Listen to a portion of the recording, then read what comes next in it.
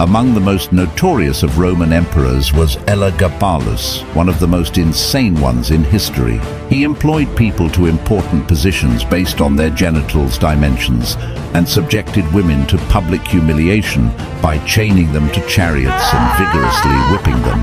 The heinousness of Elagabalus's actions hit a new low when snakes were released into his own citizens with an aim of making them suffer and die from snake bites as he savored their fear, all while laughing like a maniac. Elagabal took it even further by dressing up in women's clothes so that he could go to bars where he would sleep with old bald men like a pro, his reign had come to end through a dramatic event involving his own grandmother Julia Maesa's plot that led to him being kicked out from power. In the end, Elagabalus was overthrown and decapitated, which marked the end of his tyrannical rule.